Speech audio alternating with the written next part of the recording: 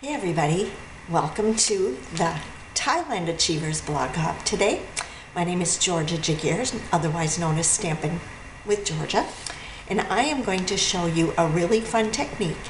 It's not unique to me, I've just taken a few ideas that I've seen online and on Pinterest and made it my own, and I'm calling it Faux Fall because we are going to take and do most of our work and technique with our woodland embossing folder this is the completed card.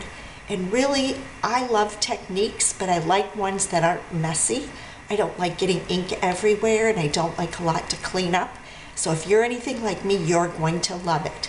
So come on, let's get started. So here's a better look at the card. You can see that there's blue in the background for the sky. We've got our yellow birch leaves. And then of course we've got the, the um, darkening in the grooves of the birch branches and stems, or trunks, excuse me. So I'm going to start. I told you that all the mess is contained in your woodland embossing folder. You're going to use the back side of the side of the folder that says Sizzix because that is the side that is indented. It's embossed in, and so we're going to put our color all there. We're going to start out by using a little bit of pool party for our sky. And I used a foam roller. These are wonderful, easy to use, and you get plenty of color. And because I'm not exactly sure where my paper is going to land, I'm going to go all the way across my folder.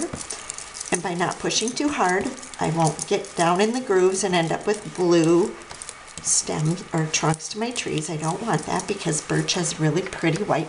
And it's okay if you go up a little bit in the area where you're going to stamp leaves because the, um, the Delightful Dijon color that we're going to use for the leaves will actually cover that over. So I'm using the tree canopy that comes from the stamp set Sheltering Tree. Some of you maybe already have that at home. It was a very popular one that came out last spring. I use it all the time because I can change the season for what I need. And so I'm going to ink that very large stamp up and I am going to stamp directly on to the folder just down a little bit a little bit I'm stamping on a pretty firm table and I'm going to stamp the second one just a little bit lower because I don't want my leaves to look like they're in a row. And I'm gonna, again, I'm going to go all the way across. And if you end up stamping and you miss a spot, it's really no big deal. It's leaves. You can go back in and add a little bit more color if you want to. Also, you can use your stamping mat underneath that if you want to, and that will help you get a better impression.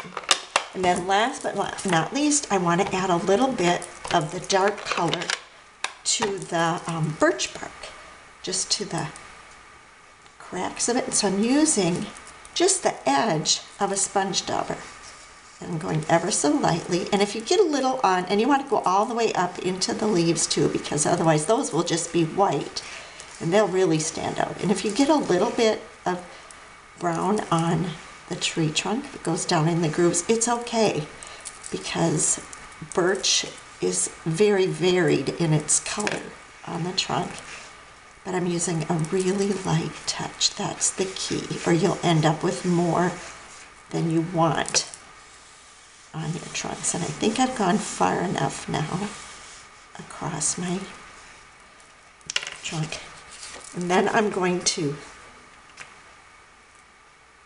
lay my white paper down. And the size of my white cardstock is four inches by five and a quarter. And I'm going to then put that in my big shot.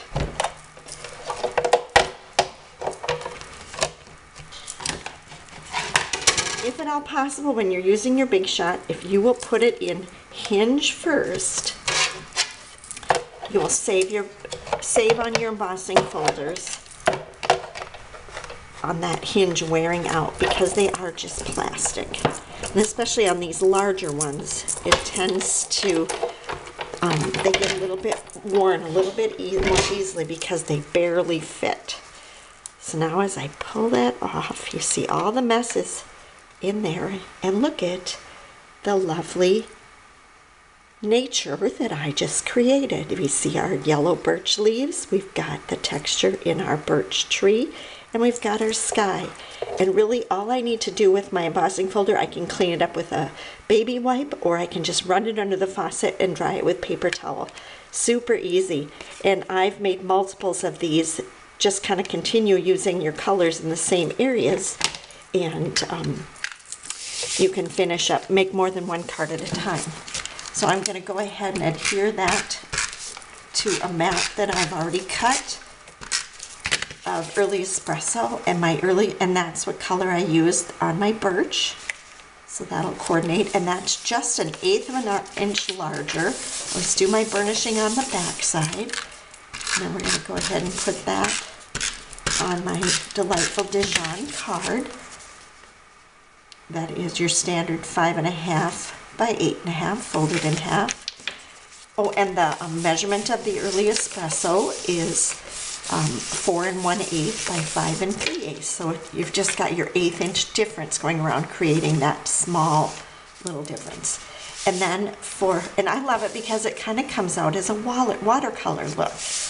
And then I, I took um, an inch by uh, four and a half inch strip of the Delightful Dijon. I stamp my message, and my messages, I am really loving this feather together. I've really bought it for the feathers, but I'm using these greetings all the time because of the script. And you've got a nice variety, a thank you, a thinking of you, a happy birthday, and then a few other little extra messages. I just love that. And I stamped it over to the far right because I'm going to punch with my banner triple punch. And I know a half, whole half inch is gonna come off, so I always make my strips a half inch larger than what I want them to end up. As you can see, I both use both sides of my paper most times. And then I just want to add just a little glimmer to this card, not too much.